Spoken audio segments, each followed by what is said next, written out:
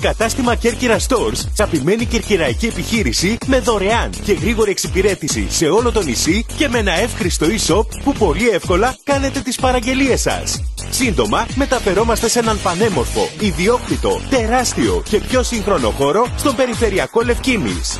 Μας βρίσκεται στα γνωστά τηλέφωνα που ήδη γνωρίζετε και όπως πάντα άμεση, δωρεάν παράδοση στο χώρο σας. Σας περιμένουμε με πολλές ευχάριστες εκπλήξεις.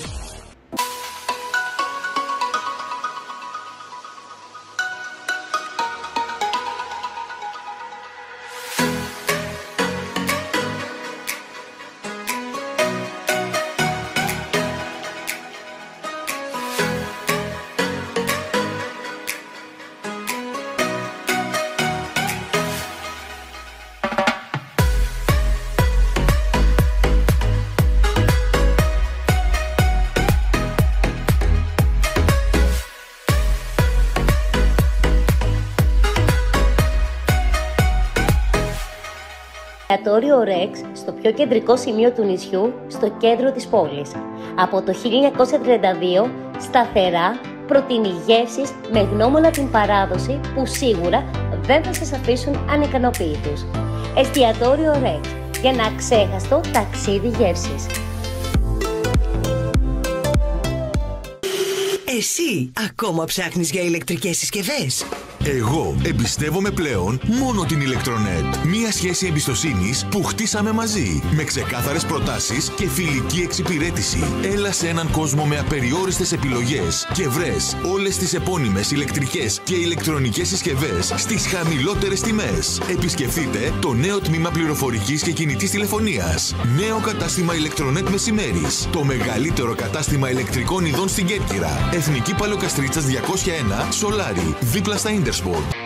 Megamart. Τα πάντα για τον κήπο, τη βεράντα, το κτήμα και κάθε εξωτερικό χώρο. Θέλεις γλάστρε, πέργολες, είδη ποτίσματος, φυτοχώματα και σπορούς. Μήπως συνθετικό γκαζόν, επίπλα κήπου, είδη σκίαση και ομπρέλες, μπάρμπεκιου και ψισταριές, κάρβουνου και υγραερίου. Τώρα και γεωργικά μηχανήματα όπως χορτοκοπτικά, καζομηχανές, αλυσοπρίωνα, ηλεκτρικά εργαλεία και εργαλεία χειρός. Παρέχουμε σερβις όλων των μηχανημάτων κήπων και εργαλείων στο κατάστημά μας. Δείτε τα και στο site μας megamart.gr Megamart. Στο τρίτο χιλιόμετρο εθνικής Πέλε Καλεπού. Megamart. Be smart. Buy smart. Εγώ στην Κέρκυρα μετακινούμε με το αστικό κάθε μέρα, μέσα και έξω από την πόλη. Άνετα, γρήγορα, με ασφάλεια και πολύ οικονομικά. Αποκτήστε την κάρτα περιορίστων διαδρομών με 35 ευρώ για τους φοιτητές, 50 ευρώ για την πόλη και 60 για όλους τους προορισμούς. Μετακινηθείτε απεριόριστα με τα λεωφορεία του αστικού κτέλ Κέρκυρας όλο το μήνα, μέσα και γύρω από την πόλη, από τον Ήψο και τη Δασιά, μέχρι Μπενίτσες, αλλά και Αχίλιο, Πέλεκα, Aqualand. Κανένα πρόβλημα. Τέλεια και οικονομικά. Αστικές συγκοινωνίες Κέρκυρας, με σεβασμό στο χρόνο σας.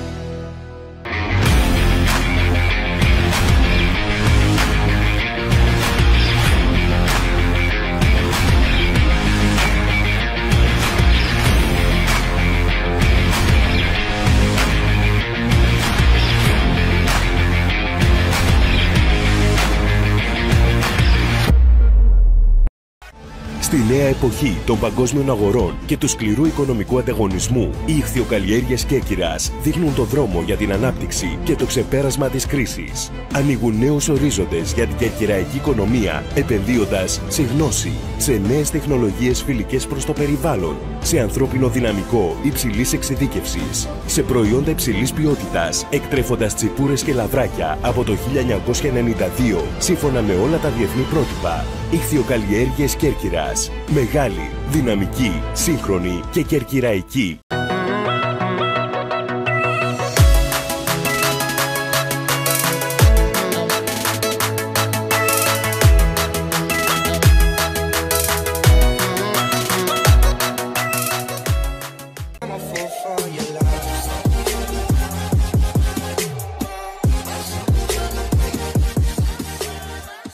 Για τον πρωινό σας καφέ, το σάντουιτς, αλλά και την απογευματινή σας χαλάρωση με έναν υπέροχο χυμό.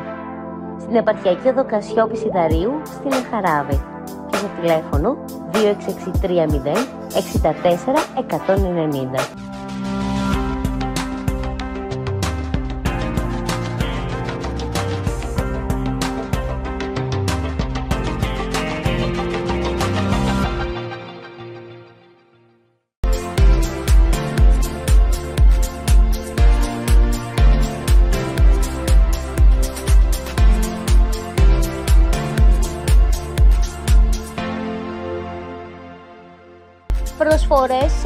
τα είδη. Γυναικεία, ανδρικά και παιδικά. Κατάστημα Well σε εξαιρετικές τιμές. Όρο συνάντηση στα Ολύμπια το καφενείο του Ζήσιμου που πλέον λέγεται Greco Street. Ιδιαίτερα εκπαιδευμένο και ευγενικό προσωπικό, προϊόντα υψηλής ποιότητας, χώρος με σεβασμό στην ιστορία αλλά και άδρα Ιωνίου, το Greco Street αποτελεί ξανά το αγαπημένο στέκι για κάθε ηλικία. Σας περιμένουμε να δοκιμάσετε από κοντά τις γεύσεις μας, να απολαύσετε τον καφέ σας στο υπέροχο ληστόν.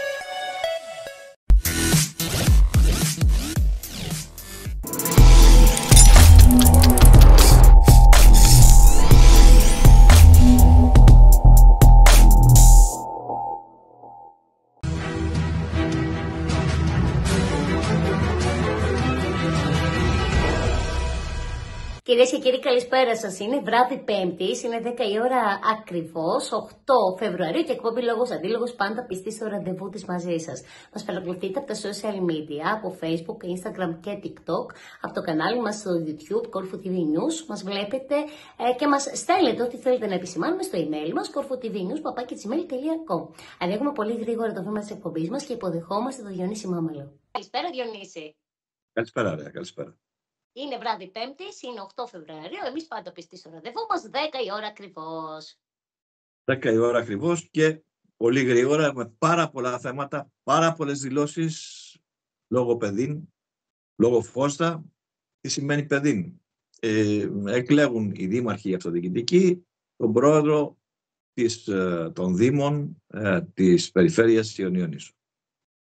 Ε, ο απερχόμενος είναι ο κύριος ε, Αλέξανδρος Παρίσης. Θα δούμε τώρα τι θα επικρατήσει. Σήμερα εκλέγεται το Διοικητικό Συμβούλιο, θα δούμε στη συνέχεια. Λοιπόν, θα τα πούμε όμως στη συνέχεια όλα. Ε, πάμε πολύ γρήγορα στα προβλήματα που υπάρχουν, στα λύματα της, στη Γαρίτσα. Ε, υπάρχουν... Δεν είναι τώρα, δεν είναι ωραία. Οι φωτογραφίες μας τις έχουν στείλει, γι' αυτό και τις παρουσιάζουμε και, και βρωμάει και πάρα πολύ. Α γίνει κάτι με την ΔΕΙΑΚ τέλος. Το έχω ξαναπεί. Το έχω ξαναπεί. Περνάς από εκεί, βάζα στη μύτη σου. Εκεί είναι θέμα ΔΕΙΑΚ. Έτσι τώρα. Άστο τώρα. Ε, να δούμε πότε θα μπει το Διοικητικό Συμβούλιο. Πάμε και τα μπάζα που υπάρχουν στις νυμφές και σε διάφορα άλλες περιοχές. Μας τα στέλνουν, διαμαρτύρονται εκεί κάτοικοι των νυμφών και βεβαίως υπάρχει και πρόβλημα με το νερό στο νησάκι. Μία έρχεται, μία σε αυτές τις περιοχές, ναι. Υπάρχει θέμα Υπάρχει... πάλι εκεί με τη ΔΕΙΑΚ, κόβεται το νερό συνέχεια, οι άνθρωποι έχουν φτάσει στα ωριά τους. Υπάρχει θέμα σοβαρό. Λοιπόν, καταρχήν θέλω να δώσουμε τα συλληπιτήριά μας στην οικογένεια του Αλέκου Μακρύ. Ακριβώς. Το προηγούμενο Σάββατο πρέπει να πούμε ότι βρεθήκαμε όλοι μαζί στο πρώην ζήσιμο.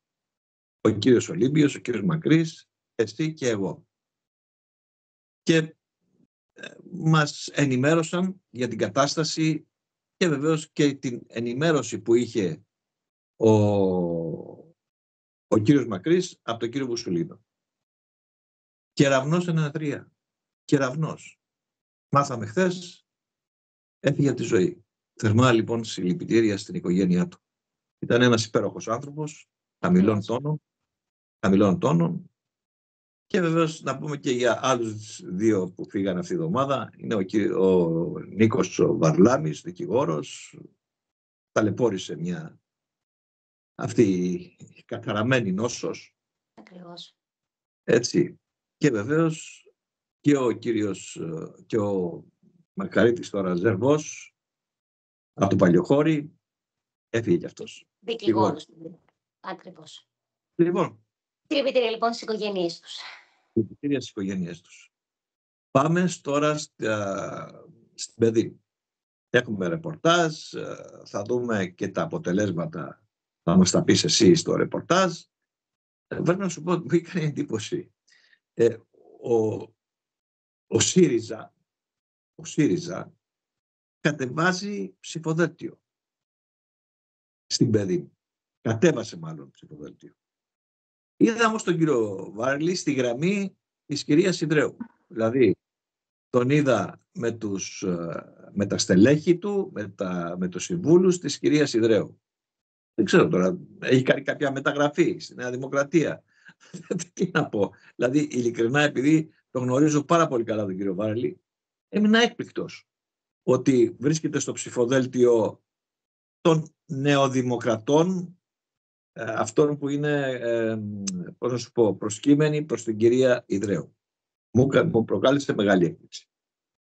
Λοιπόν, ε, θα το δούμε, θα δούμε όλα στα ρεπορτάζ, θα μας πεις και τα ποιοι εκλέκτηκαν, για να δούμε και ποιες, Κυριακή βέβαια θα δούμε ποιοι και πώς, τι γίνεται, διότι υπάρχει θέμα, υπάρχει ένα θέμα ποιος θα είναι πρόεδρος, αν τυχόν και εκλεγεί το ψηφοδέλτιο ε, του, μάλλον πλειοψηφίσουν οι σύμβουλοι που είναι στο ψηφοδέλτιο του κ. Παρίσι και αν πλειοψηφίσουν οι σύμβουλοι που είναι στο ψηφοδέλτιο, το λέω με επιφύλαξη έτσι, του κυρίου Στανίτσα, στα, Στανίτσα, τότε θα έχουμε άλλο πρόεδρο εκεί, ή τον κύριο Στανίτσα ή κάποιον άλλον, όπως και ή τον κύριο Παρίσι ή κάποιον άλλον.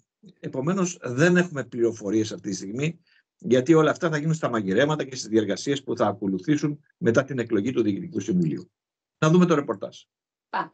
Ολοκληρώθηκαν το πρωί της Πέμπτης εκλογές για την ανάδειξη του νέου Διοικητικού Συμβουλίου της ΠΕΔ Ιωνίων ενώ θα συσταθεί σε σώμα την επόμενη εβδομάδα. Στο νέο 20 μελέ συμβούλιο εισέρχονται απευθείας οι 11 νεοεκλεγέντες δήμαρχοι των Ιωνίσων, καθώς και ακόμη 10 οι οποίοι εξελέγησαν από την ψηφοφορία της Πέμπτης. Πιο αναλυτικά, από η παράταξη ενότητα Ιωνίων Νήσων έλαβε 41 ψήφους και 6 έδρες και εκλέγονται Χρήστος Κούρτης, Φόντας Αλαμάνος, Παντελής Γιανούλη, Αλέξανδρος Παρίσι, Νίκος Βραδή και Γιάννης Γαρνέλης. Για την ΚΕΔΕ, από αυτήν την παράταξη εκλέγονται ο Νίκος Χιρδάρη και ο Θωμάς Βλάση. Από την παράταξη μαζί για τα Ιόνια, που έλαβε 35 ψήφους και 4 έδρες, εκλέγονται Σπύρος Παθής, Δημήτρης Μεταλινός, Χαράλαμπος Καλός και Θεοχάρης Γιώτας. Για την ΚΕΔΕ εκλέγεται ο Νίκος Βαλιανάτος. Τέλος, η παρατάξη της ΛΑΣΥ έλαβε τέσσερις ψήφους και η παράταξη από την Εσιακή Δημοκρατική Συνεργασία τρεις ψήφους και δεν εξέλεξαν μέλος στο Διοικητικό Συμβούλιο της ΠΕΔΗΝ. Ο κύριος Γιαννούλης, ο κύριος Παρίσης, ο κύριος Κούρτης, ο κύριος Γαρνέλης, ο κύριος Αλαμάνος και ο κύριος Βραντής θα αποτελούν τους πρώτους έξι. Ε, η ΚΕΔΕ θα αποτελείται από τον κύριο Χιρδάρη Νικόλο και τον κύριο Βλάση. Από την ενότητα μαζί για τα Ιόνια, από το ψηφοδέλτιο μαζί για τα Ιόνια, εκλέγονται ο κύριος Παθής Πυρίδων, ο κύριος Μεταλλινός, ο κύριος Καλό, Κάλος, Καλός, Καλός και ο κύριος Γιώτης. Και για την ΚΕΔΕ ο κύριος Βαλιανάτος. Θέλω να ευχαριστήσω για την προσέλευση από όλα τα Ιόνια νησιά που ήταν όλοι παρόν, δεν έλειψε κανείς και όλα αυτά δείχνουν την καλή λειτουργία και την καλή διαχείριση που είχαμε στην ΠΕΔ.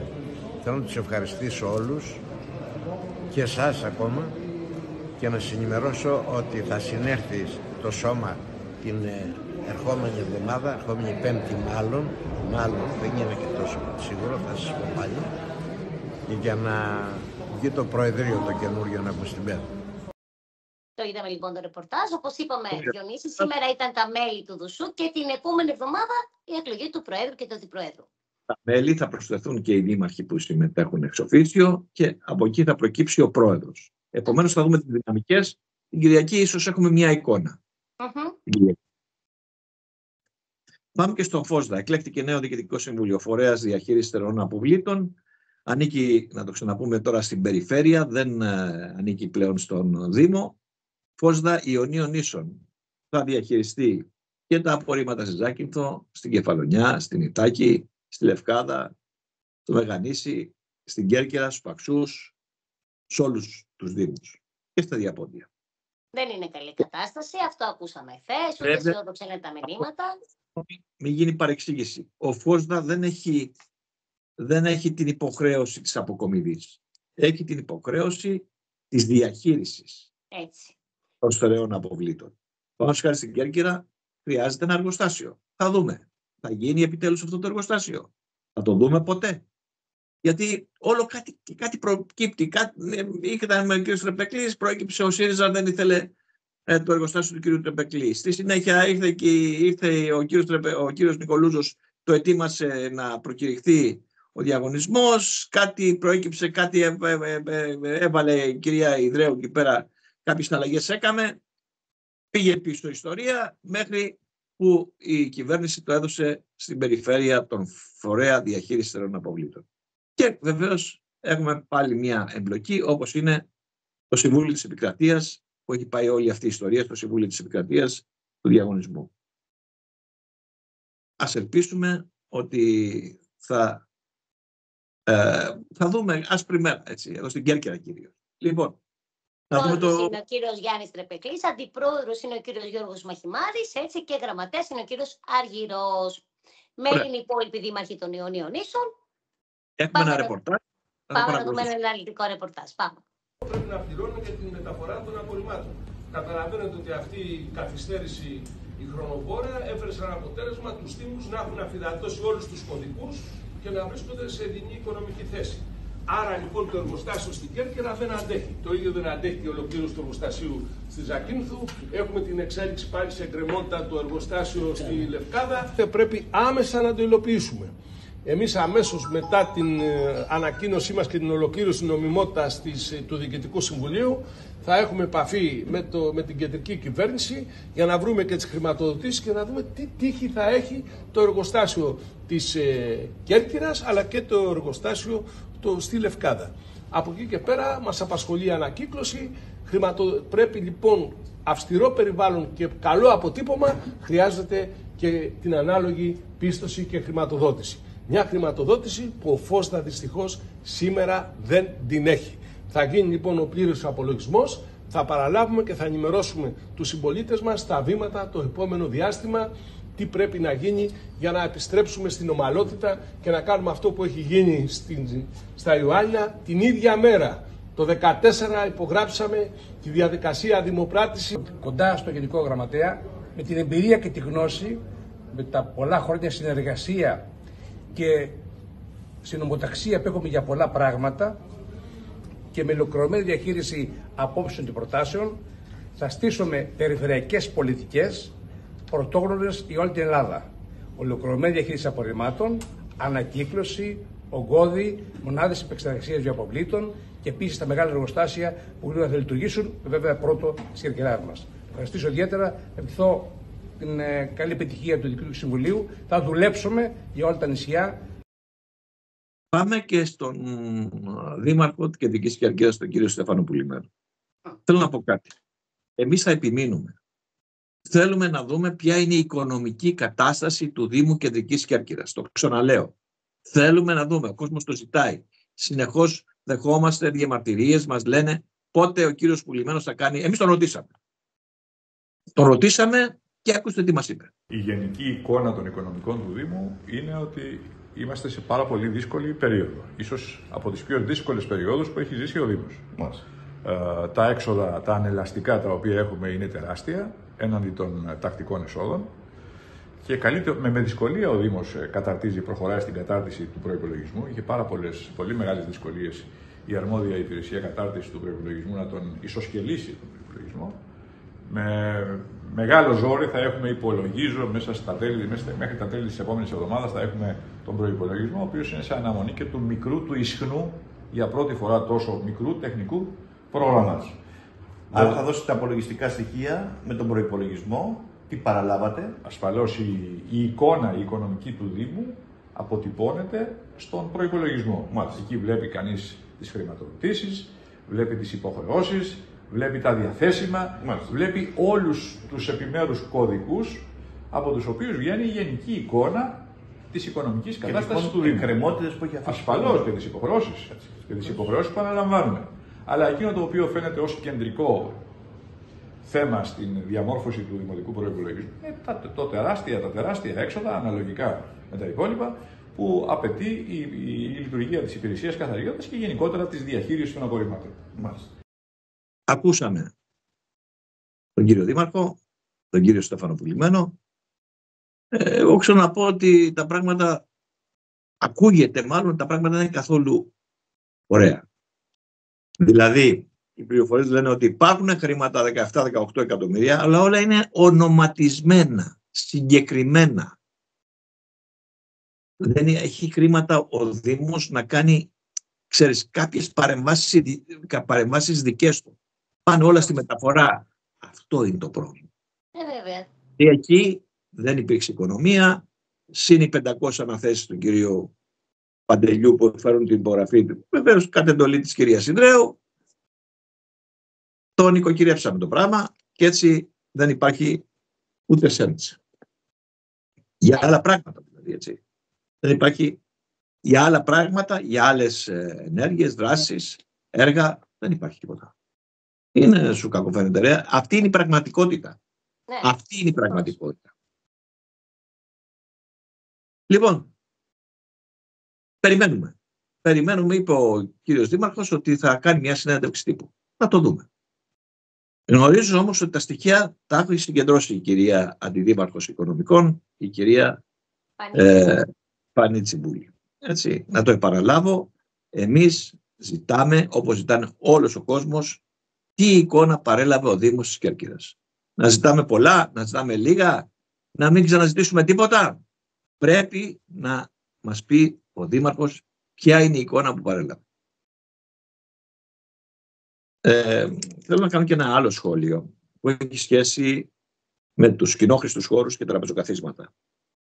Ε, αρχικά είχε υποθεί μια ημερομηνία 1η Φεβρουαρίου θα, ε, ο νέος αντιδήμαρχος κ. Ρουσουλίνος θα ε, έκανε μια, είχε κάνει ενημέρωση ότι θα πρέπει να μαζέψουν όσοι έχουν παρανόμως ε, τοποθετήσει αντικείμενα, γλάστρες. Κανένας βέβαια δεν κουνήθηκε. Δεν τρέχει τίποτα. Κανείς στην κυριολεκτό κανείς δεν είπε λέξη. Έτσι.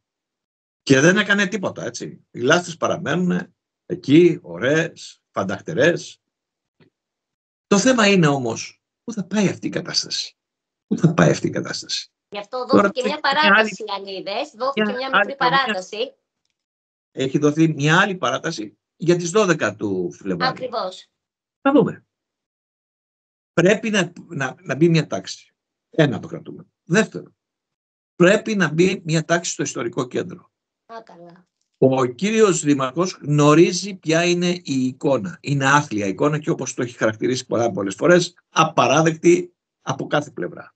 Ε, Οι ζημιές είναι καθημερινές. Εμείς επιμένουμε. Γιατί ο Δήμος κάνει τις παρεμβάσεις. Εμείς πληρώνουμε όμως μπορούσε να κάνει, ας πούμε, να έχει το συνεργείο του να φτιάξει κάποιο πεζοδρόμιο, ξέρω εγώ, στη Μητροπολή του Μεθοδίου, κάπου που έχουν φύγει οι πλάκες.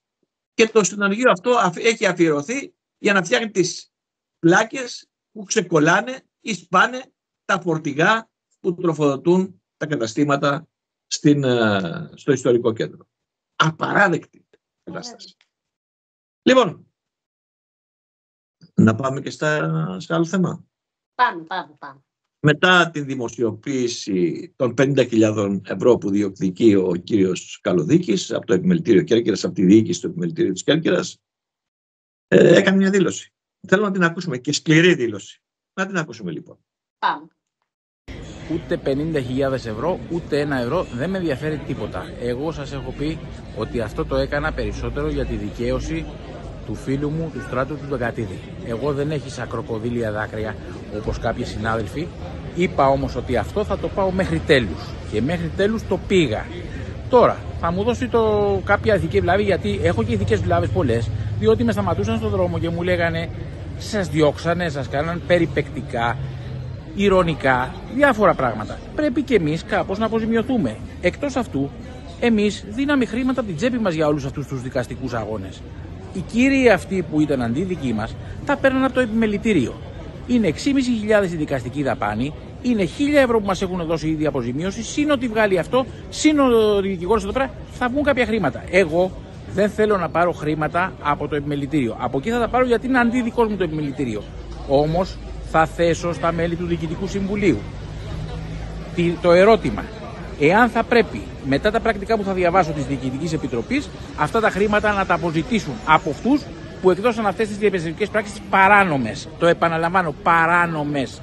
Και ό,τι λένε είναι ε, νόμιμο αλλά όχι ηθικό, αυτό είναι περισσότερο νόμι, ε, μη νόμιμο αλλά όχι ηθικό το ότι ο κύριος πρόεδρος έβγαλε μόνος του διαπιστωτική πράξη, δεν την έθεσε στο Διοικητικό Συμβούλιο με δύο-τρεις συμβούλους μέσα της Διοικητικής Επιτροπής που ψηφίσανε να γίνει διαπιστωτική πράξη. Ο κύριος Ιμάτης, για παράδειγμα, που ήταν στη Διοικητική Επιτροπή, δεν το ψήφισε. Αυτός δεν πρέπει να διωχθεί. Όπως και άλλα μέλη του Διοικητικού Συμβουλίου, ο κύριος Τέλας, η παράταξή του ολόκληρη αποχώρησε και παρετήθηκε. Αυτοί γιατί να διωχτούν. Λοιπόν, Τον ακούσαμε. τον ακούσαμε. Ναι, Διονύση, είναι αυτό που λέτε, δεν τα ζητάει από το επιμελητήριο. Τα ζητάει από αυτούς που τον. Σου μιλάω ειλικρινά.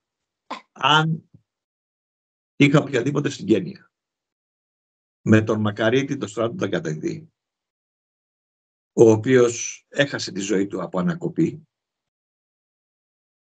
νεότατος, μέλος του, της διοίκησης του επιμελητηρίου, τον διώξανε και αυτόν, ε. είχε προσφύγει μαζί με τον κύριο Καλοδίκη, τον κύριο Βασιλάκη, ο κύριος, ε, ο συγχωρεμένος, ο... θα τους έκανα αγωγή. Θα τους έκανα αγωγή και θα ζητούσα χρήματα αποζημίωση. Γιατί ο στράτος έφυγε με αυτό το παράπονο της εκδίωξης από το επιμελητήριο Κέρκυρα. Βέβαια θα διο- δικαιωνόταν αν ζούσε. Δυστυχώς όμως δεν πρόλαβε.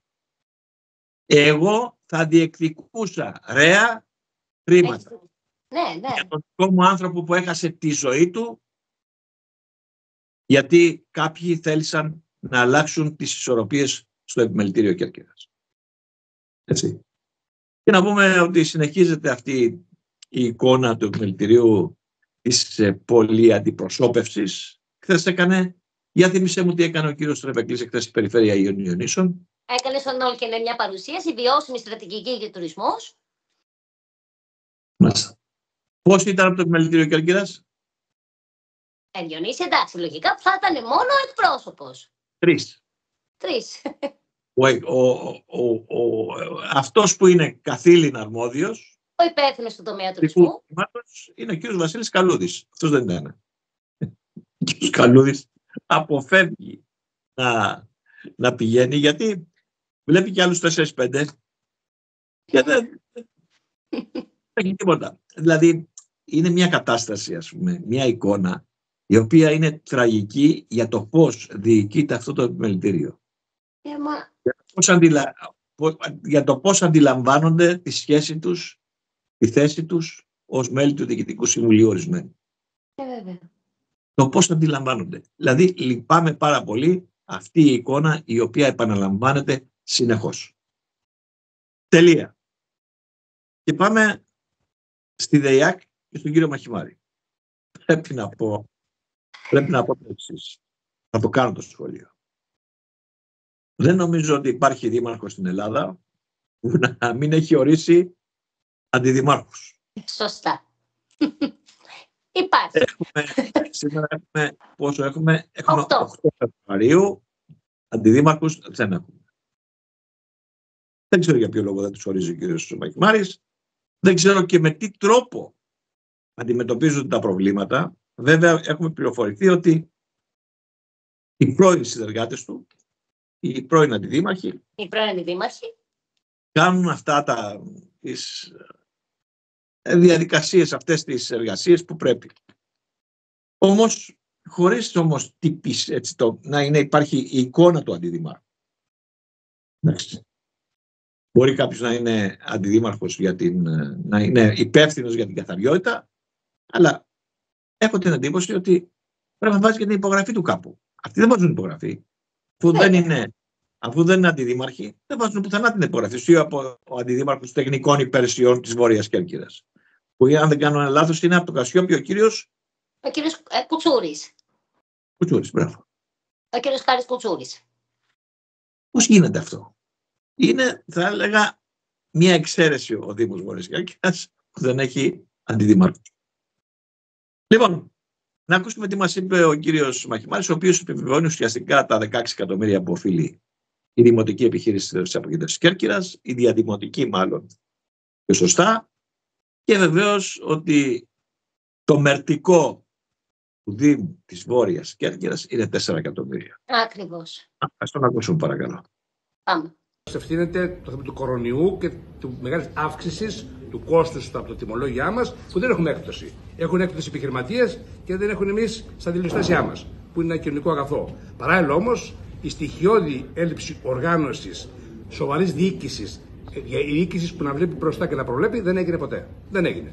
Ε, έτσι, ε, τεράστιο σημαντικό θέμα. Γι' αυτό και ακούγεται ότι θα τις ιδιωτικοποιήσουν, γι' αυτό ακούγεται ότι θα γίνει ρύθμιση. Αλλά παρόλα αυτά όμως, κάθε φορά που υπάρχει ένα δυσβάχτατο βάρος σε βάση αυτοδιοίκησης, πάει στους ΚΑΠ, κεντρικούς αυτοτελεί πόρους, όπως με το τέλος ταφής, και πληρώνεται και μειώνεται αυτοτελεί πόροι. Άρα, υπάρχει μια ρύθμιση, θα υπάρχουν στα λεξιπρόθεσμα, μήπως αφαιρεθούν κάποια ποσά. Είναι υπέροχο αυτό το ποσό να πάει στην πλάτη της κοινωνίας ή επίσης σε ένα μικρό χρονικό διάστημα να εξηγιαθεί. Εμείς έχουμε βάλει ένα πλάνο.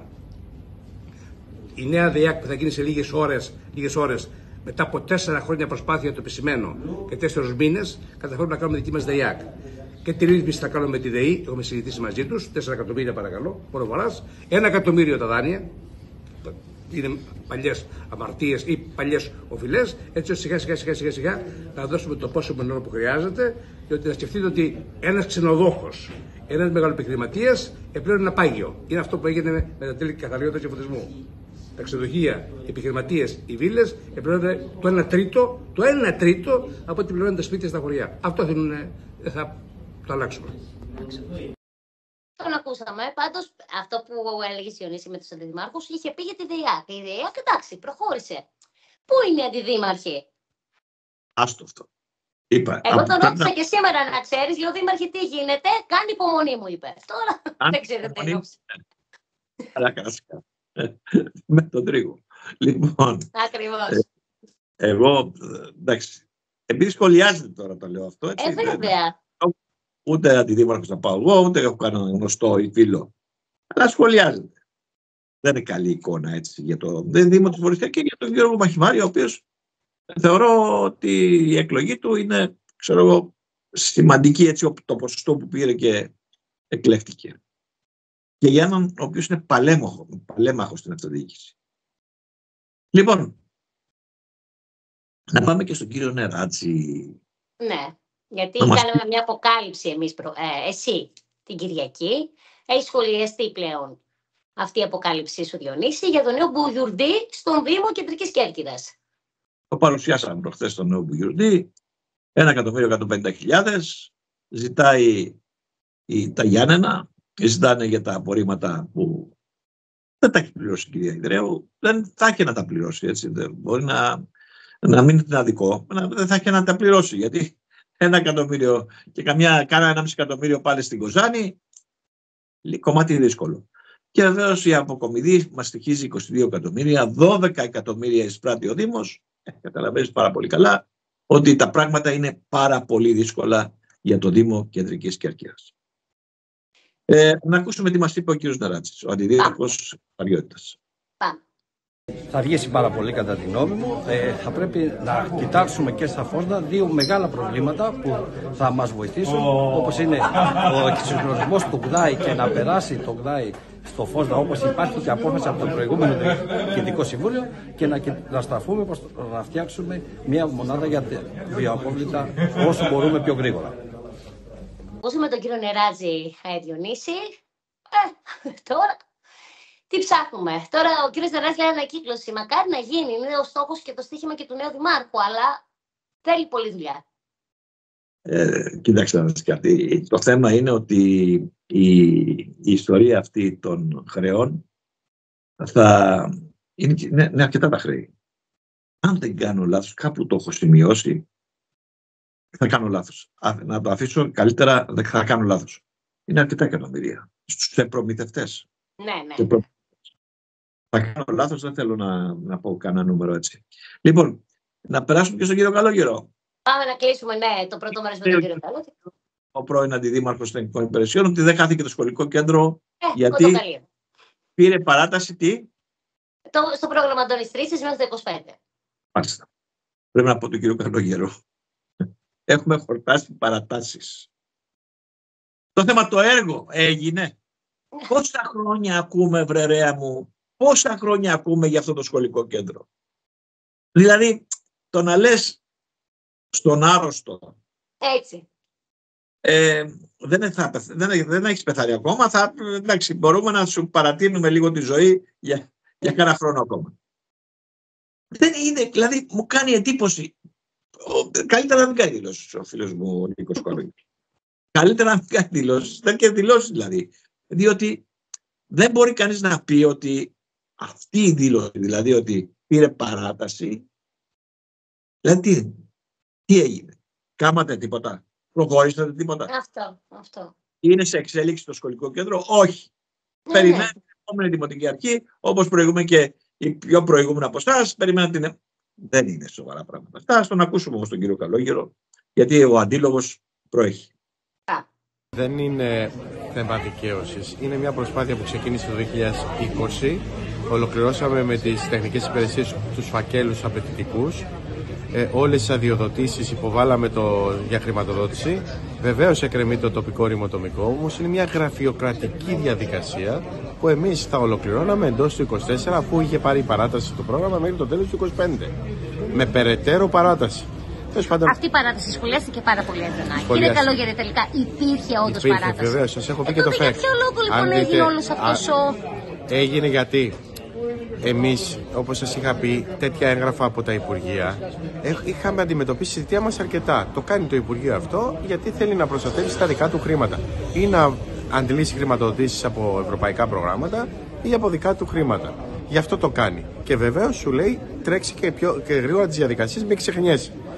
Ε, εμείς τα είχαμε αυτά όλα δρομολογημένα. Γι' αυτό και η Δημοτική Αρχή, μετά από τη συσκέψη που κάναμε, πήρε τα έτοιμα τεύχη δημοπράτησης και πάτησε το κουμπί, το κουμπί μέσα σε 10 μέρες για να μπορέσει να δημοπρατηθεί το έργο. Το πιο σημαντικό είναι η δημοπράτηση του έργου. Αυτό κλειδώνει τα πάντα. Άρα το κοντόκαλι δημοπρατήθηκε, ξεκινάει η Δημοτική Αρχή στη συνέχεια με την προηγούμενη την έκδοση του τοπικού ρημοτομικού, μια γραφειοκρατική δουλειά και βεβαίως ευχόμαστε και εύχομαι μέσα από την καρδιά μου πραγματικά να έχουμε ένα καλό εργολάβο, ένα σωστό εργολάβο έτσι ώστε να ολοκληρωθεί αυτό το project. Τον ακούσαμε λοιπόν και τον κύριο Καλόγερο. Εντάξει. Τώρα, λοιπόν, έχεις δίκιο Διονύση αυτό που λες. Είδαμε έργα, είδαμε θεμέλια. Λοιπόν, έχουμε χρόνο. Όχι, όχι, δεν έχεις άλλο χρόνο. Τον έχουμε ξεπεράσει. Ε, γιατί έχεις πολλά και στην δεύτερη ενότητα. Έχουμε πολλά θέματα και στη δεύτερη ενότητα. Πάμε πολύ γρήγορα να δούμε χωρικού και επιστρέφουμε.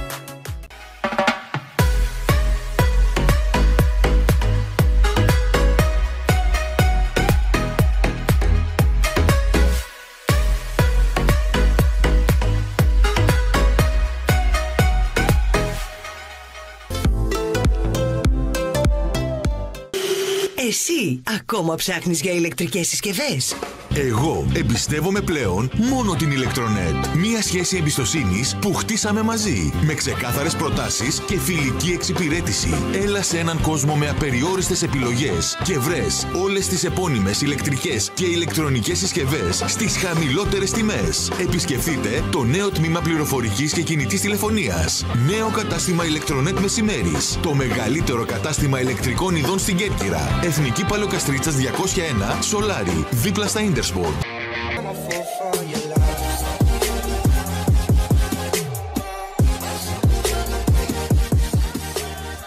για τον πρωινό σας καφέ, το σάντουιτς, αλλά και την απογευματινή σας χαλάρωση με έναν υπέροχο χυμό. Στην επαρχιακή οδό Κασιόπη Σιδαρίου, στην Εχαράβη. Και στο τηλέφωνο 2663 64 190.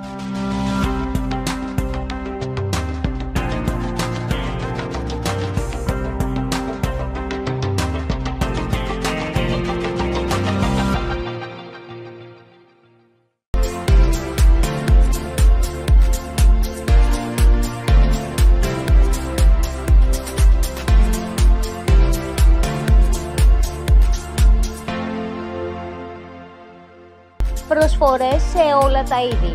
Γυναικεία, ανδρικά και παιδικά. Κατάστημα Well. Σε εξαιρετικές τιμές. Όρο συνάντηση στα Ολύμπια το καφενείο του Ζήσιμου που πλέον λέγεται Greco Street. Ιδιαίτερα εκπαιδευμένο και ευγενικό προσωπικό, προϊόντα υψηλής ποιότητας, χώρος με σεβασμό στην ιστορία, αλλά και άδρα Ιωνίου, το Greco Street αποτελεί ξανά το αγαπημένο στέκι για κάθε ηλικία. Σας περιμένουμε να δοκιμάσετε από κοντά τις γεύσεις μας, να απολαύσετε τον καφέ σας στο υπέροχο ληστόν. Εστιατόριο Rex στο πιο κεντρικό σημείο του νησιού, στο κέντρο της πόλης. Από το 1932 σταθερά προτείνει γεύσεις με γνώμονα την παράδοση που σίγουρα δεν θα σας αφήσουν ανικανοποιητούς. Εστιατόριο Rex για ένα ξέχαστο ταξίδι γεύσης.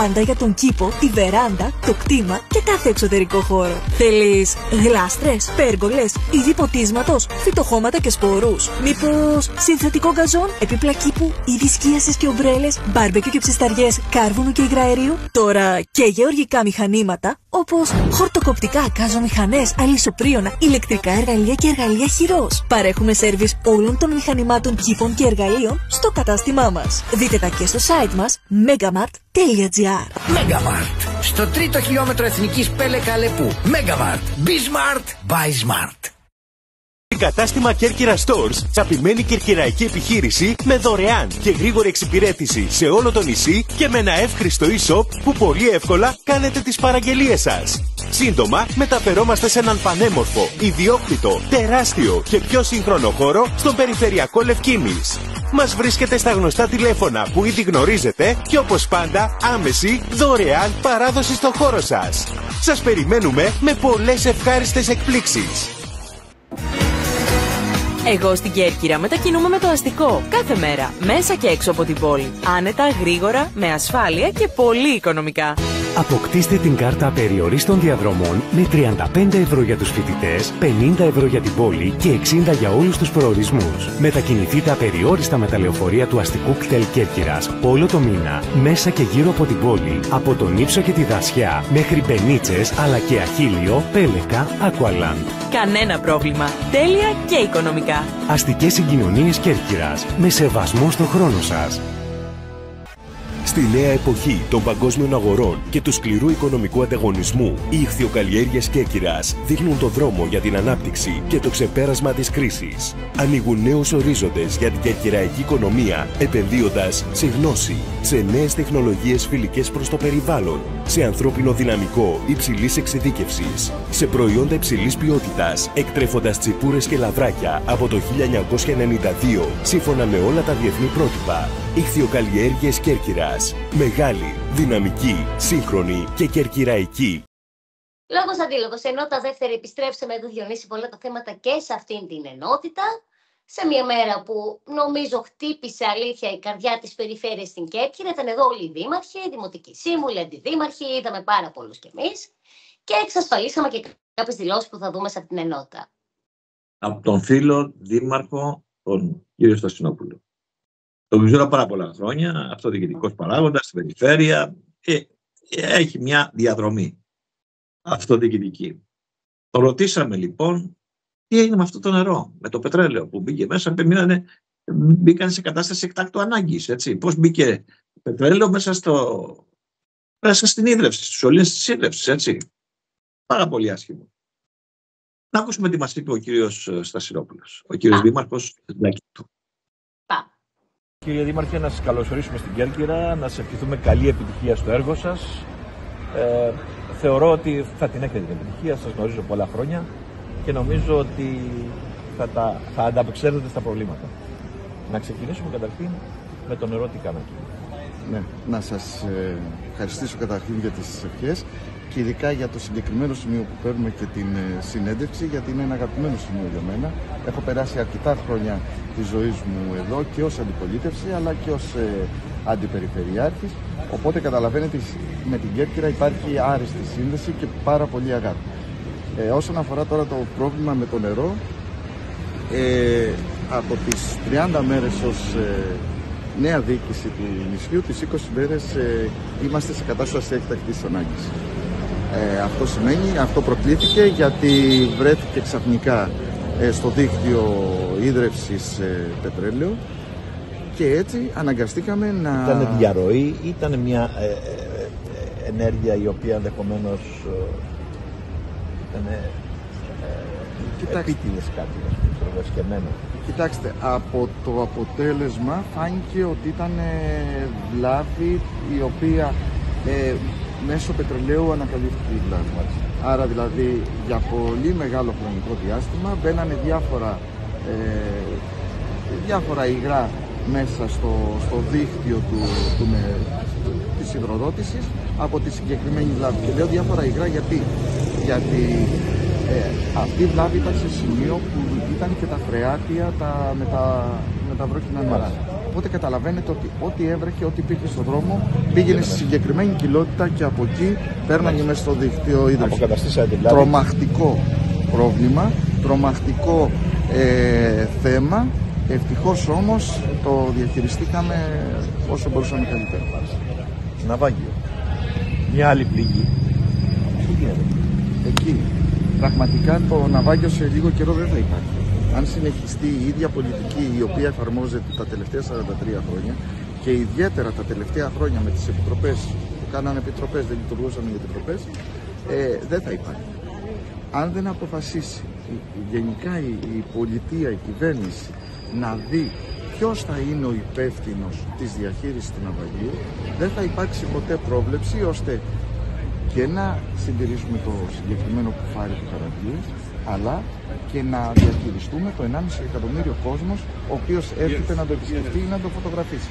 Είναι το δεύτερο πιο πολύ φωτογραφημένο σημείο στην Ελλάδα μετά την Ακρόπολη και δεν υπάρχει ένας που να πούμε αυτός ο φορέας είναι υπεύθυνος από θέματα καθαριότητας, από θέματα ασφάλειας, από, τη, από θέματα συντήρησης, από οτιδήποτε νομικό θέμα μπορεί να προκύψει.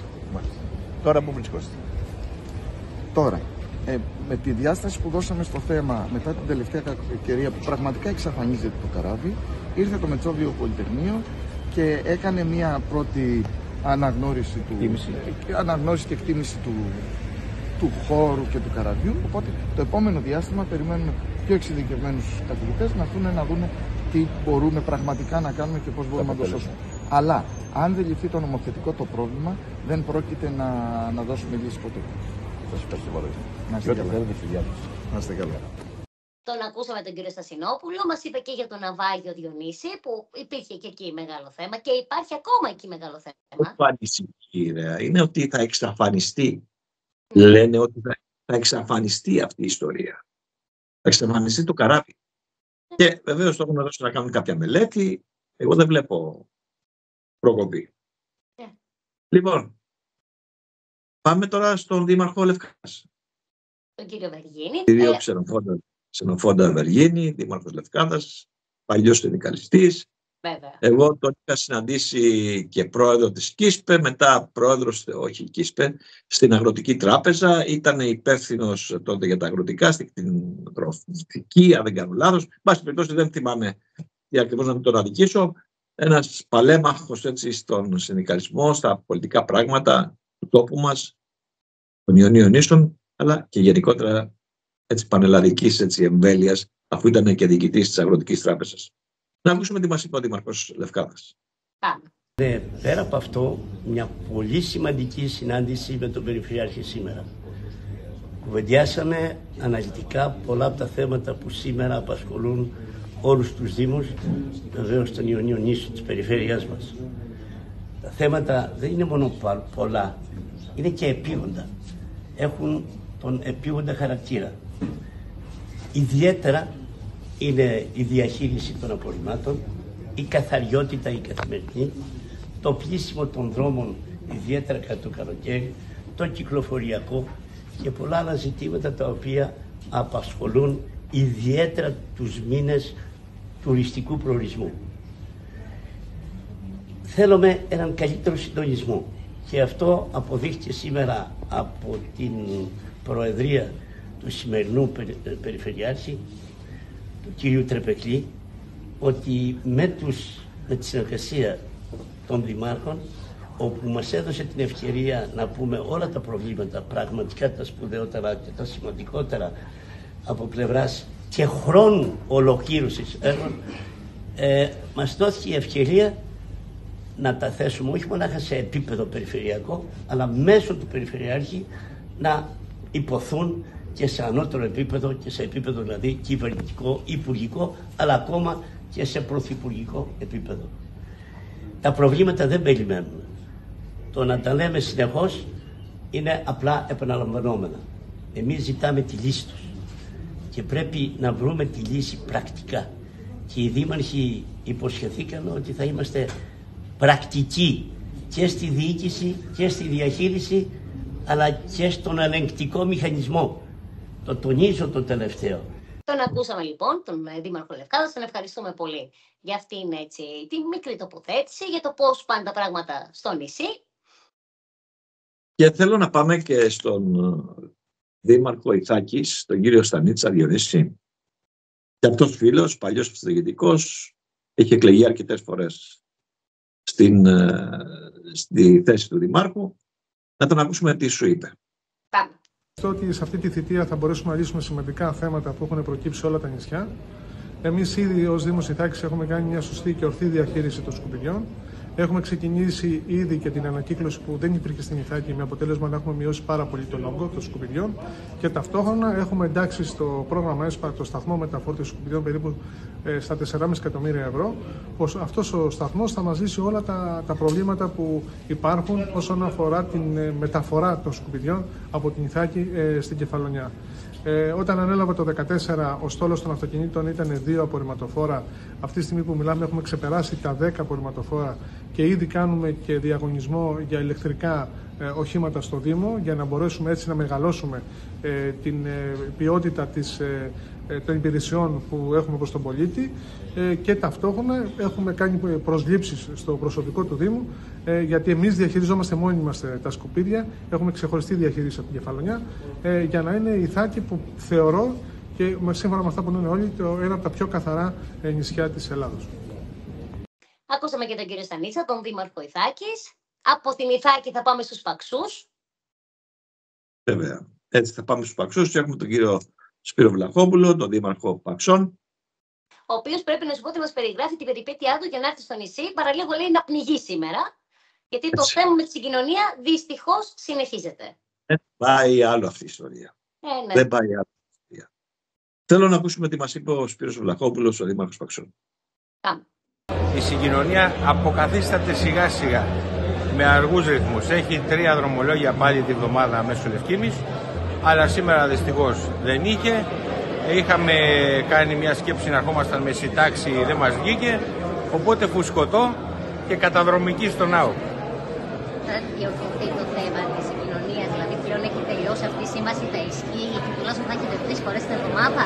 Ναι, νομίζω από εδώ και μπρος μόνο θα αυξάνονται τα δρομολόγια, δεν θα μειώνονται και υπάρχει και η υπόσχεση του Υφυπουργού του κ. Παπά ότι στον προγραμματισμό της φετινής χρονιάς θα υπάρξουν τέτοιες προβλέψεις ώστε να μην το ξανααντιμετωπίσουμε άλλη χρονιά. Τον ακούσαμε λοιπόν και τον κύριο Βλαχόπουλο, τον Δήμαρχο Παξών. Να πάμε και στον κύριο Δρακουλόγκονα, τον Δήμαρχο Σάμις. Πάμε στην Κεφαλονιά, να, ναι, αρχικά τον, ε, ε τον κύριο Τρακουλόγκονα, τον οποίο εμείς τον ξέρουμε και ως περιφερειάρχη, αν θυμάσαι, με, με τον κύριο Γαλιατσάτο. Λοιπόν, πάμε να τον ακούσουμε.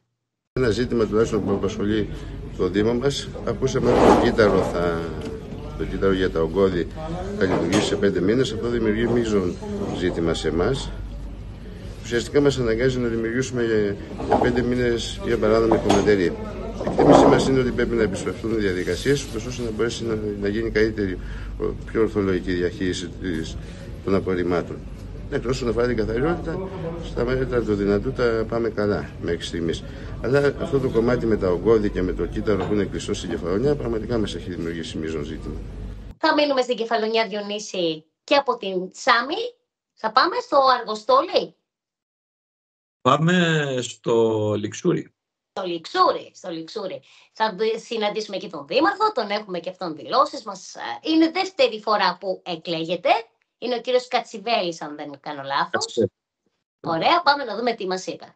προσωπικού, θέματα ε, αποκαταστάσεων από τους σεισμούς. Δεν ξεχνάμε το 2014 από τις ε, φυσικές καταστροφές του Ιαννού του Μπάλου. Και όταν έχουμε να αντιμετωπίσουμε για μια πανδημία τα πρώτα χρόνια, ήταν πολύ δύσκολη η κατάσταση. Παρ' όλα αυτά, καταφέραμε, στήσαμε το Δήμο, είναι βιώσιμος. Οι υπηρεσίες, δόξα τω Θεώ, δουλεύουν ε, πολύ καλά. Έχουμε καταφέρει όχι μόνο να στηθεί ο Δήμος, αλλά να απορροφήσουμε και χρηματοδοτήσεις από άλλα προγράμματα όπως Αντώνης Τρίτης, Φιλόδημος κτλ. Άρα είμαστε σε μια φάση τώρα όπου πλέον μιλάμε για το αναπτυξιακό μέλλον του Δήμου. Οι αποκαταστάσει ολοκληρώνονται, σχολεία, δημόσια κτίρια. Πάμε τώρα στο αναπτυξιακό κομμάτι μέσα από χρηματοδοτήσεις πάλι από προγράμματα που θα διεκδικήσουμε. Ετοιμάζουμε μελέτες και ετοιμαζόμαστε για τη νέα προγραμματική περίοδο να εξασφαλίσουμε κονδύλια. Φτάσουμε και στον πρόεδρο του Δικηγορικού Συλλόγου Κέρκυρας, τον κύριο Γιάννη Κοντό. Γιατί Φαίνεται ότι η εποχή. η αποχή συνεχίζεται μέχρι τις 28 Φεβρουαρίου, έτσι. Για να τον ακούσουμε. Δεν έχει πάρει βέβαια απόφαση, αλλά είναι πανελλαδική έτσι, απόφαση που σημαίνει ότι θα ακολουθήσει, τουλάχιστον έτσι πιστεύω, ο, και ο Δικηγορικός Συλλόγος Κέρκυρας. Για να τον ακούσουμε. Δεν υπάρχει στα ζητήματα τα οποία μας απασχολούν ως κλάδος, δηλαδή για τους νέους ποινικούς κώδικες, για το δικαστικό χάρτη. Ξέρετε, κατά τόπους σε κάποιους νομούς έχουν προκύψει πάρα πολύ έντονα προβλήματα δικαστικού χαρακτήρα. Ε, με το, ε, κυρίως αφορά αυτό περιοχές όπου υπάρχει πάνω από ένα πρωτοδικείο και τώρα ε, το διακύβευμα είναι ποιο πρωτοδικείο θα γίνει το Μητροπολιτικό και ποια άλλα θα γίνουν επαρχιακά που θα έχουν λιγότερες συνθέσεις και μικρότερες λειτουργίες και καταλαβαίνετε ότι δημιουργούνται πολύ σφοδρές ε, αντιδράσεις και συγκρούσεις και με το δικαστικό χάρτη. Δείτε μόνο τι έγινε με τα εφετεία, το ξέρετε διότι το ζήτημα άγγιξε και, και την Κέρκυρα. Ε, έτσι λοιπόν, ε, έχοντας σε εκκρεμότητα όλα αυτά, μη βλέποντας πρόοδο στο ζήτημα της απόδοσης δικαστηριακής ύλης που έχει υποσχεθεί επίσης ο Υπουργός Δικαιοσύνης, ένα μέρος δηλαδή της δικαιοδοσίας των δικαστηρίων να μπορεί πλέον να επιτελείται από τους ίδιους τους δικηγόρους, πράγμα το οποίο εμείς το θέλουμε σαν κλάδος, όμως δεν υπάρχει πρόοδος διαδικαστικά σε όλο αυτό.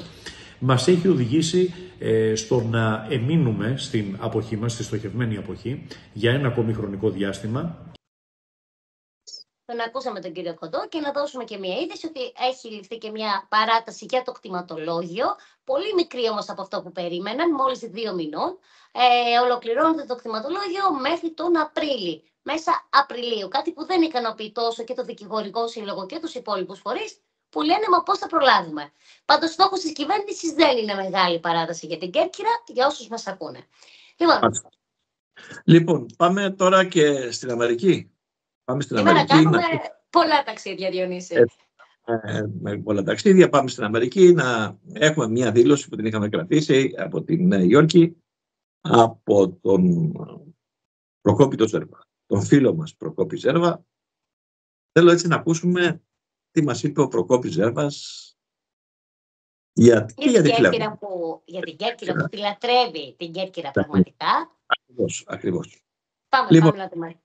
Πάμε να Κατά πρώτο θα ήθελα να χαιρετήσω τους πατριώτες μας στην Κέρκυρα από τη βροχερή σήμερα Νέα Υόρκη. Ε, χαίρομαι πολύ που τελείωσαν οι διαδικασίες. Τελικά θα έρθει η παλιά φιλαρμονική. Ε, από ό,τι πληροφορήθηκα είναι όλα έτοιμα, τακτοποιημένα και σας περιμένουμε με μεγάλη χαρά να παρελάσετε στην α, παρέ- την πέμπτη λεωφόρο και να βρεθούμε όλοι παρέα άλλη μια φορά στη Νέα Υόρκη. Πρέπει να πούμε ότι είμαστε στην πέμπτη λεωφόρο. Τώρα είμαστε στην πέμπτη λεωφόρο που θα γίνει η παρέλαση. Απ' έξω από το πλάζα εδώ Ναι, στο ναι. Σωτείο. Ναι. Να δώσουμε και έτσι την εικόνα να το δουν οι... Αυτή είναι η πέμπτη λεωφόρο, η περίφημη Central Park. Ναι, αριστερά το Central Park. Και δεξιά αυτή είναι η πέμπτη λεωφόρο που παίρνει ζωή. Παίρνει ζωή. Η πέμπτη λεωφόρο και είναι η Νέα Υόρκη, είναι η μέρα της Ελλάδος. Όταν γίνεται η παρέλαση, κλείνει όλη η Νέα Υόρκη και οι Ελλήνε μεταλαμβάνονται και είναι η μέρα τη γιορτή των Ελλήνων. Είμαστε ε, μόνο πέντε, μόνο πέντε κράτη μπορούν να κάνουν παρέλαση στη Νέα Υόρκη. Και μία από αυτά είμαστε και εμεί. Σε ευχαριστώ πάρα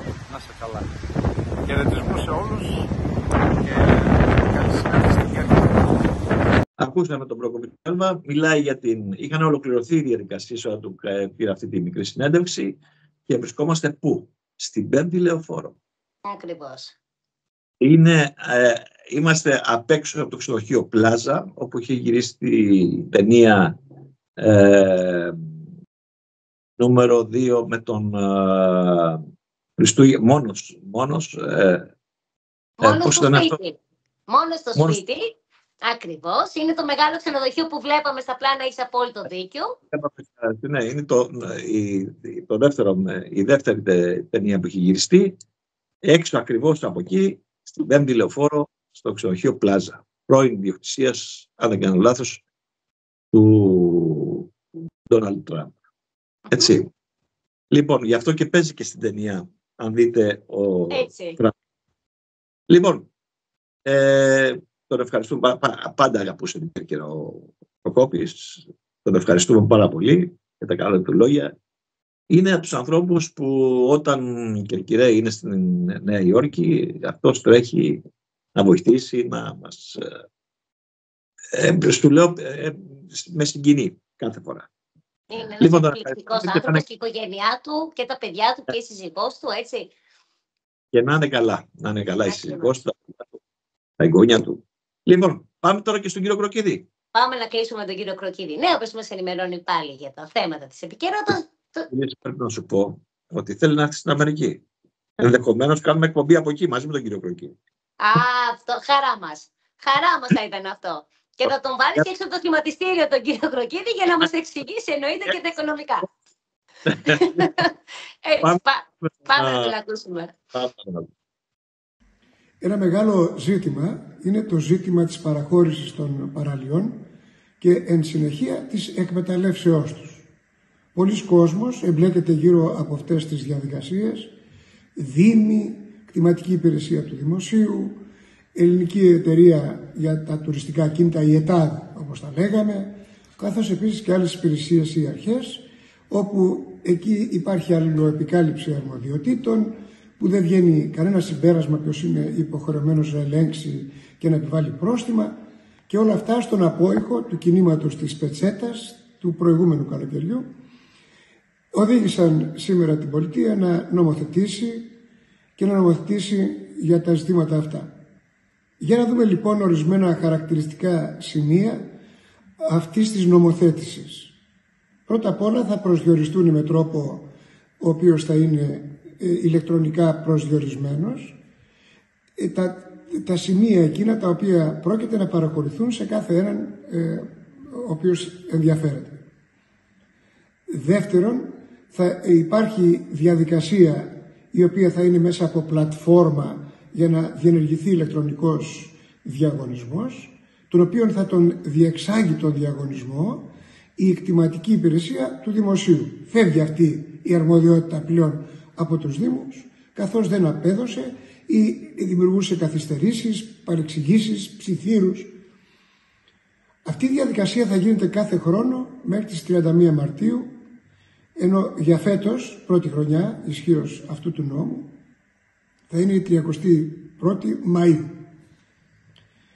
Εκεί λοιπόν μέσα στο νομοσχέδιο προβλέπεται ο τρόπος με τον οποίο καθορίζονται τα προς παραχώρηση τμήματα των γερών της παραλίας και ούτω καθεξής. Δεύτερον, οι υποχρεώσεις τις οποίες αναλαμβάνει κάποιος ο οποίος θα ε, κατορθώσει να, να, να, να πάρει ένα τέτοιο τμήμα για το εκμεταλλευτεί. Θα πρέπει με δικές του ευθύνες, να, με δική του ευθύνη, να υπάρχουν αλλαξιέρες που λέμε, να υπάρχουν ντους, ε, να υπάρχουν ναυαγοσώστες στην περίπτωση που ο Δήμος, ο αρμόδιος Δήμος δεν επιθυμεί ή δεν προβαίνει στην εγκατάσταση ναυαγοσώστης στη συγκεκριμένη περιοχή και αυτό το κόστος κατόπιν θα το συμψηφίζει με το αντίτιμο της παραχωρήσεως, με το κράτος. Θα υπάρχει επίσης υποχρέωση πινακίδας με σαφώς προσδιορισμένα τα όρια, δηλαδή αυτό που λέμε τοπογραφικό αποτύπωμα και εκεί λοιπόν θα υπάρχει και ένα σύστημα το οποίο, ε, ένα σύστημα ε, QR code όπως λέμε, όπου κάθε πολίτης ιδιώτης θα μπορεί να διακρίνει αν υπάρχει παραβατική συμπεριφορά από τον εκμεταλλευτή του χώρου.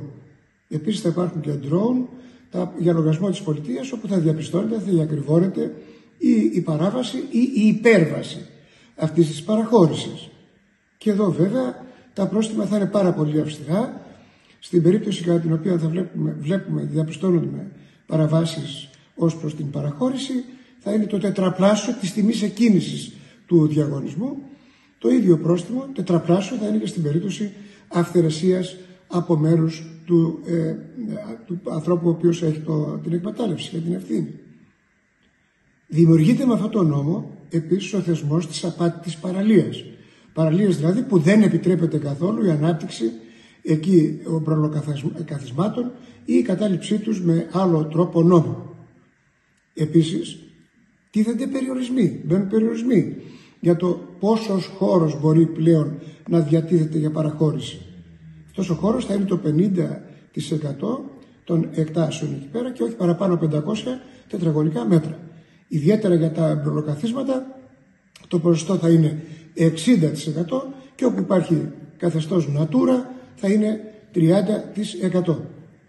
Αυτός ο νόμος έρχεται να βάλει μία τάξη σε όλη αυτή την αντινομία που υπήρχε όλα τα προηγούμενα χρόνια και όσους από εμάς υπηρετήσαμε την αυτοδιοίκηση ξέραμε τι άγχος διακατήχε όλους τους ανθρώπους οι οποίοι προσπορίζονται έσοδα προσόδους για να ζήσουν την οικογένειά τους μέσα από αυτές τις δραστηριότητες τις καλοκαιρινές, τις θερινές δραστηριότητες. Τελούσαν πάοτε υπό, το, ε, υπό την αίρεση θα μου δοθεί, δεν θα μου δοθεί, θα υπάρχει έντονος, ε, έντονη πίεση από άλλους ανταγωνιστές και όλα αυτά. Σήμερα λοιπόν δίνεται η δυνατότητα μέσα από αυτή τη διαδικασία να παραχωρηθεί συγκεκριμένο τμήμα για από ένα μέχρι τρία χρόνια.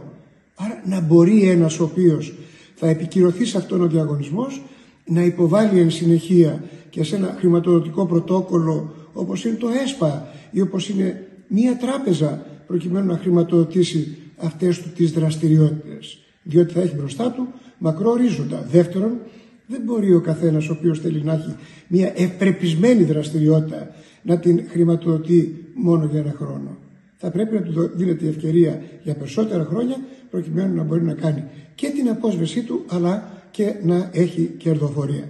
Θεωρώ ότι είναι ένα μέτρο επιβεβλημένο και θα λύσει πάρα πολλές αγκυλώσεις και δυσλειτουργίες. Εν πάση περιπτώσει είναι πολύ ευεργετικό μέσο, μέτρο για τον τουρισμό, τον τουρισμό στην πατρίδα μας. Ακούσαμε λοιπόν. και τον κύριο Κροκή. Τον ευχαριστούμε για ακόμα μια φορά για την ενημέρωση. Και άλλα θέματα, αλλά δεν έχουμε χρόνο. Δεν έχουμε, όχι την Κυριακή. Θα έχουμε και την Κυριακή, θα έχουμε και τον κύριο Κώστα Θήμη σε, μια, σε ένα ακόμα αφαίρωμα, γιατί με το γυμνάσιο, με τα σχολεία τα νυχτερινά, συγκίνησε πάρα πολύ κόσμο. Λοιπόν, Γιονίση, λοιπόν. καλό βράδυ. Καλό βράδυ. Καλό βράδυ.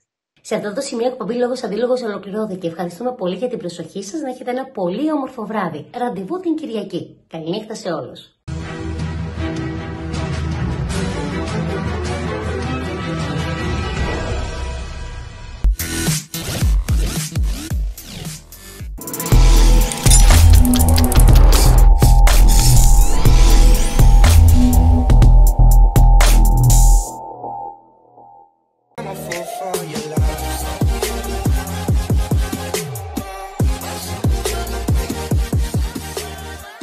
Για τον πρωινό σας καφέ, το σάντουιτς, αλλά και την απογευματινή σας χαλάρωση με έναν υπέροχο χυμό. Στην επαρχιακή οδο Κασιόπη Σιδαρίου, στην Εχαράβη. Και στο τηλέφωνο 2663 64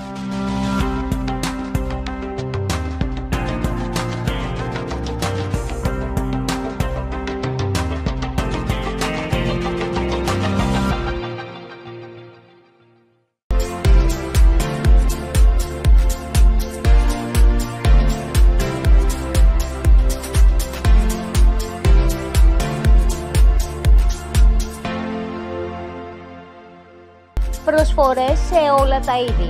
Γυναικεία, ανδρικά και παιδικά. Κατάστημα Well σε εξαιρετικές τιμές.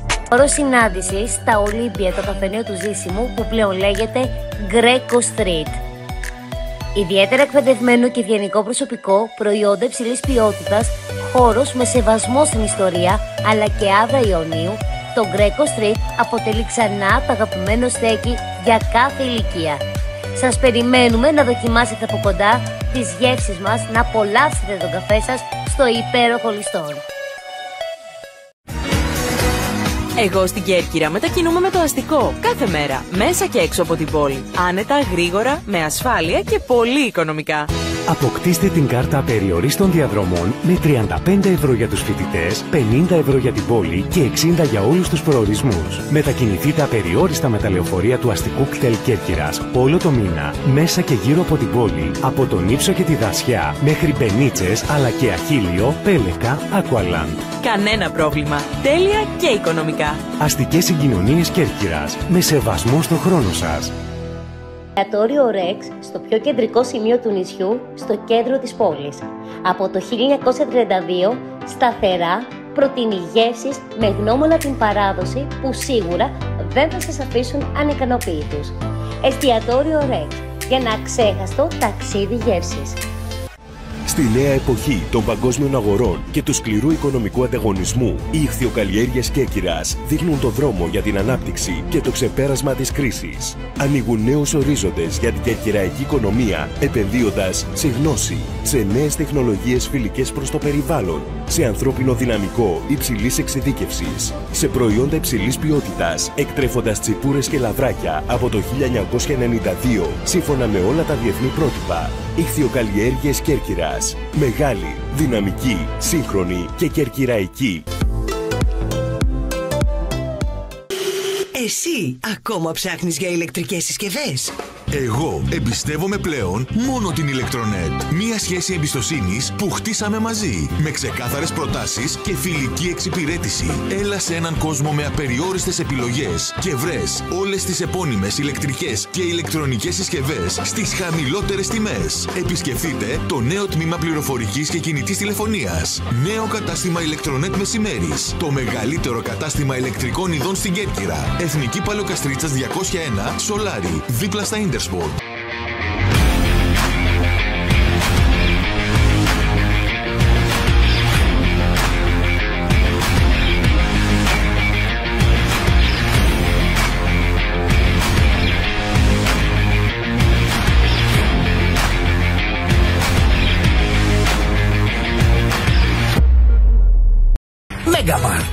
Πάντα για τον κήπο, τη βεράντα, το κτήμα και κάθε εξωτερικό χώρο. Θέλεις γλάστρες, πέργολες, είδη ποτίσματος, φυτοχώματα και σπορούς. Μήπως συνθετικό γκαζόν, επίπλα κήπου, είδη σκίασης και ομπρέλες, μπάρμπεκιου και ψισταριές, κάρβουνου και υγραερίου. Τώρα και γεωργικά μηχανήματα όπως χορτοκοπτικά, κάζομηχανέ, αλυσοπρίωνα, ηλεκτρικά εργαλεία και εργαλεία χειρός. Παρέχουμε σερβις όλων των μηχανημάτων κήπων και εργαλείων στο κατάστημά μας. Δείτε τα και στο site μας megamart.gr Megamart. Στο τρίτο χιλιόμετρο εθνικής Πέλε Καλεπού. Megamart. Be smart. Buy smart.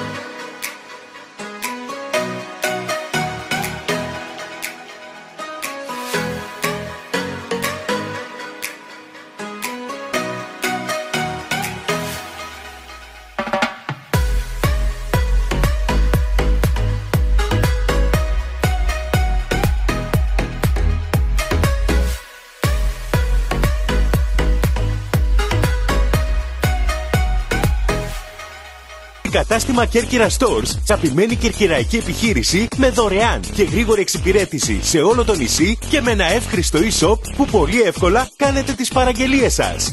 Σύντομα μεταφερόμαστε σε έναν πανέμορφο, ιδιόκτητο, τεράστιο και πιο σύγχρονο χώρο στον περιφερειακό Λευκίνης. Μας βρίσκεται στα γνωστά τηλέφωνα που ήδη γνωρίζετε και όπως πάντα άμεση, δωρεάν παράδοση στο χώρο σας. Σας περιμένουμε με πολλές ευχάριστες εκπλήξεις.